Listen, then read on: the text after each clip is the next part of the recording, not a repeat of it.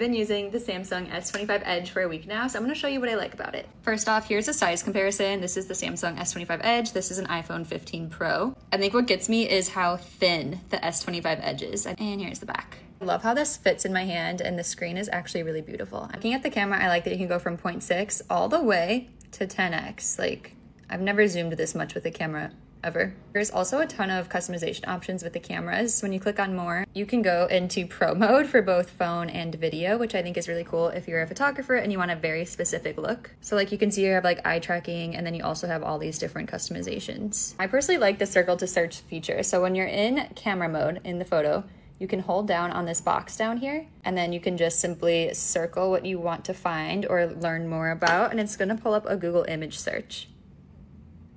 So you can see it's telling me about the Olipop. It not only searches images, but it can also translate text. When I was in South Korea and I would go to a coffee shop and I had no idea what was on the menu because it was all written in Korea, I would do that and just circle the menu and it would translate the entire menu into English for me. If you're someone who's traveling, definitely recommend taking this with you. Speaking of traveling and taking photos, let's say you have a picture but there's someone photobombing you. You come down here to this little magic button and generative edit. You can just circle the object or person that you want to remove.